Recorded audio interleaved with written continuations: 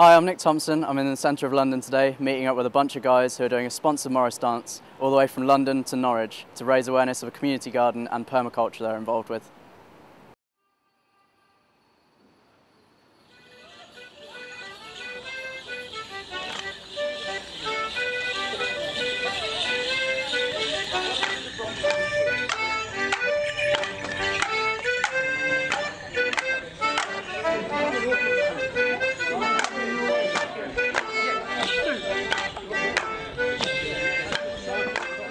Hi, my name is Adam Bacon. Um, me and two friends are Morris Dancing from London to Norwich to raise awareness of community garden projects. Okay. And it's all based around the permaculture aspect. Can you tell us a little bit about that? Okay, well, basically, permaculture is um, short for permanent agriculture, and what it entails is designing an ecosystem within a garden to self sustain itself.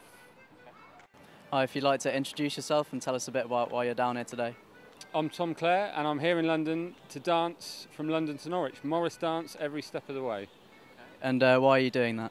I'm doing it to raise money for a community garden project, to raise awareness of Morris dancing and permaculture, and also to follow in the footsteps of Will Kemp, who was Shakespeare's fool, and he danced from London to Norwich in 1600 to raise money for his retirement after being sacked by Shakespeare.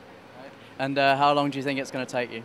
It's going to take us nine days of dancing. We've got three days rest in between, but um, nine days altogether.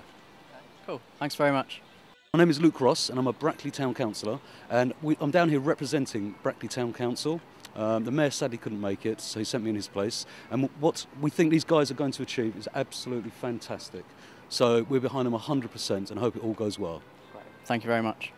Okay, cheers, guys. Thanks for everything, and I hope it all goes well for you. Thanks a lot. This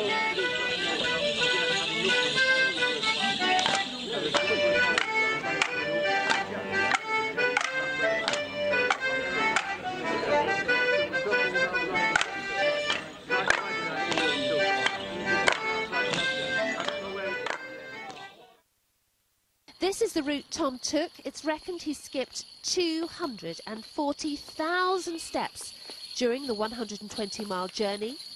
He had four days rest in the middle and still managed to arrive a day earlier than the record set 400 years ago.